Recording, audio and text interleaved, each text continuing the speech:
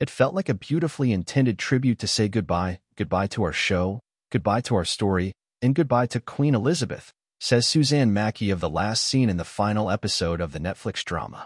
The final six episodes of The Crown have arrived on Netflix, concluding a decade of work that culminated in the fictionalized retelling of Queen Elizabeth II's 70-year reign over the United Kingdom. Written and created by Peter Morgan in 2016, the six-season series began with the then Princess of York's Claire Foy, 1947 marriage to Philip, Duke of Edinburgh, and now ends with her son, Prince Charles's, Dominic West, wedding to Camilla Parker Bowles, Olivia Williams, just as Morgan imagined from the outset. Peter knew right at the beginning, 10 years ago, that it would be 2005. Executive producer Suzanne Mackie told The Hollywood Reporter in a previous interview. He always said, I want to end around the time when Camilla and Charles got married.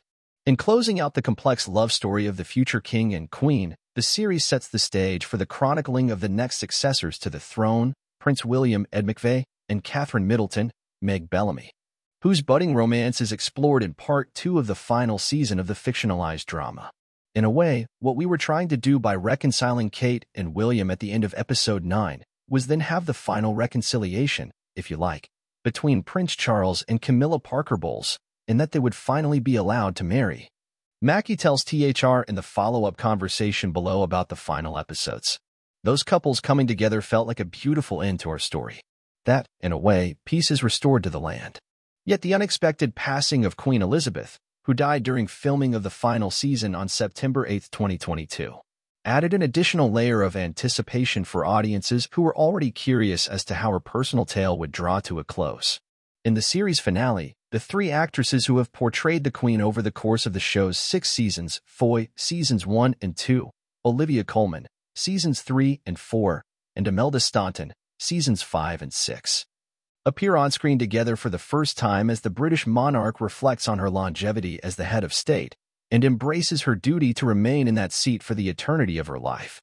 That felt like a profound note to end on, that there was something very simple and dignified and gracious, not least because, of course, in the time of Peter writing it, we didn't know that the Queen would die, and of course she did, explains Mackie. So it also felt like a beautifully intended tribute to her to say goodbye, goodbye to our show, goodbye to our story and goodbye to her. What he said immediately, and I think he said this not just because he felt he'd trodden this story well already, but because he felt there was another part of that story that he really wanted to examine, which was the Al-Fayeds. Right at the beginning, 10 years ago, he said, I really want to talk about the Al-Fayeds and the impact of Dodi's death on them, and I remember at the time thinking, wow, that is so interesting and so bold.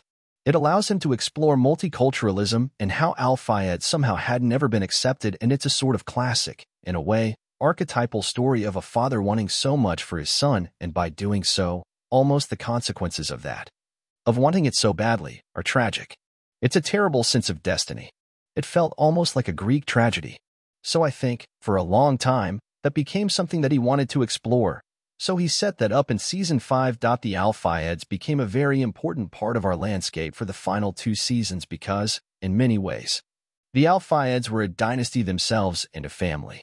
And in the end, The Crown is a family drama, so you're colliding two very high-profile, very dynamic, rich, wealthy, privileged families, and all the dysfunction that goes with that.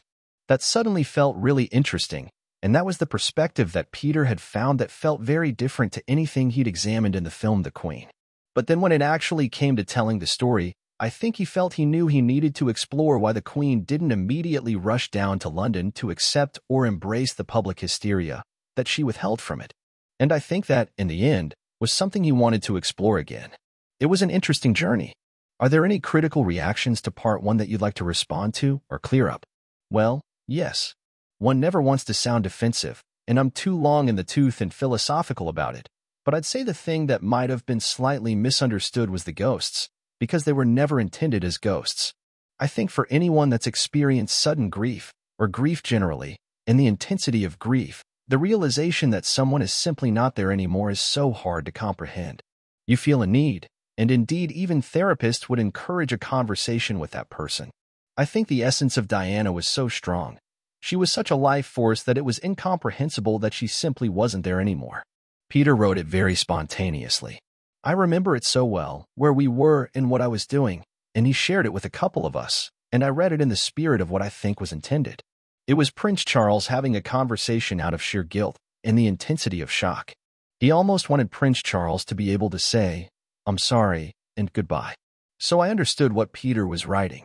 I think we all understood it, and certainly the actors understood it.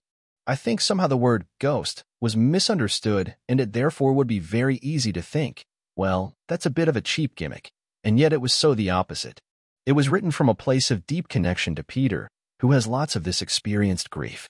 Peter always writes from a very deep place within himself. He never writes casually. He never writes superficially.